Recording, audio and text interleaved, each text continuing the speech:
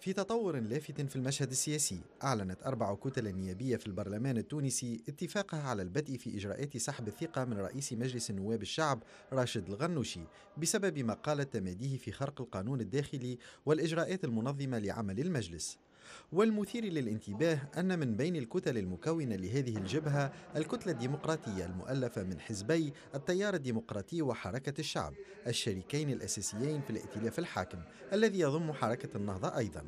وقد أكدت مصادر من داخل هذه الكتلة أن هناك استياء واسع من الطريقة التي يسير بها الغنوشي المجلس وعدم اتخاذه لأي إجراءات لوضع حد لحالة الفوضى السائدة تحت قبة البرلمان. هذا بالإضافة إلى تغليبه للمنطق الحزبي وانحيازه العلني لكتل على حساب أخرى ما يعطي الانطباع بأنه رئيس كتلة وليس رئيس مجلس نواب. من جهة أخرى أوضح عدد من النواب الذين أعلنوا مساندتهم للشروع في إجراءات عزل الغنوشي أن هذا التحرك لا علاقة له بنتائج اجتماع مجلس شورى حركة النهضة الذي انطلقت جلساته يوم الأحد والذي من المتوقع أن يعلن قرار الحركة الرسمي والنهائي تجاه البقاء في الحكومة التي يترأسها إلياس الفخفاخ أو سحب الثقة منها على خلفية الأزمة السياسية داخل الائتلاف الحكومي والاتهامات بالفساد التي طالت الفخفاخ. موقف يجد مساندة تامة من الحزب الدستوري الحر الذي تقوده عبير موسي والتي تعتبر من أشد منتقدي النهضة والتي فشلت كتلتها منذ أسابيع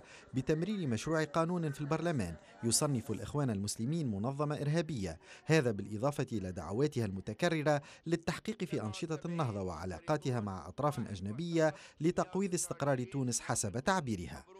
وأمام هذه التطورات يرى البعض أن التهديد بسحب الثقة من الغنوشي ربما هو وسيلة ضغط على النهضة لعدم سحب ثقتها من الحكومة الحالية خاصة في ظل الأوضاع الحرجة التي تمر بها تونس على المستوى الاقتصادي والاجتماعي. في المقابل أعلن النائب عن حركة النهضة أسامة الصغير أن التهديدات بسحب الثقة من رئيس البرلمان لا تتعدى مجرد التصريحات وأنها مناورة غير جدية مؤكدا أن الحركة تحصلت على نسخة من نص الاتفاق والذي قال أنه رديء ومليء بالأخطاء وأن هذه الكتل ليس لها الشجاعة الكافية للمضي قدما في هذه الخطوة وإن قامت بذلك سيكون هناك تبعات حسب تعبيره.